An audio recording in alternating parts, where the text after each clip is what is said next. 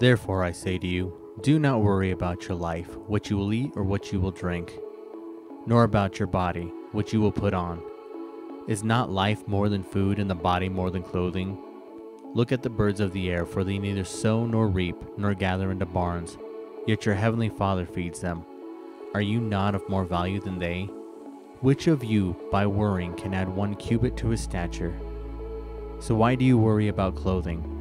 Consider the lilies of the field, how they grow. They neither toil nor spin. And yet I say to you that even Solomon in all his glory was not arrayed like one of these. Now, if God so clothed the grass of the field, which today is, and tomorrow is thrown into the oven, will he not much more clothe you, O you of little faith? Therefore, do not worry, saying, What shall we eat, or what shall we drink, or what shall we wear? For after all these things the Gentiles seek.